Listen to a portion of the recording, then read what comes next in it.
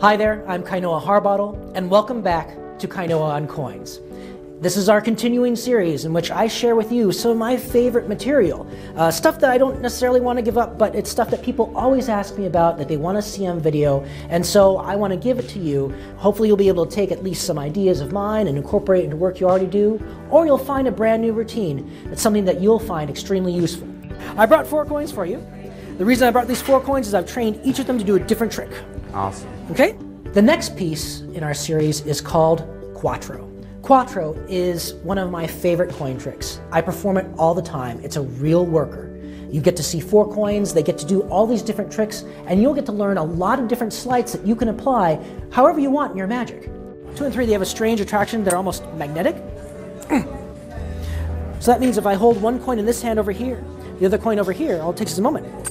The one coin will jump over to be with its friend, just like that. Uh, that's what two and three do.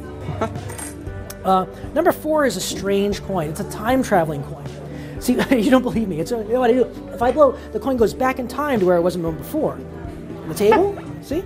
Although sometimes when I put that coin, I put it on the table and give a little rub, it reappears back at my fingertips. See? Um, now, some people don't believe this. The time, time traveling coin it just goes back in time. No, really, it just goes back in time. No, really, just goes back in time to where it was a moment before. But people say that if you could see the coin go back in time, they'd actually see it go back in time. Kainoa on coins, taking your coin magic to the next level.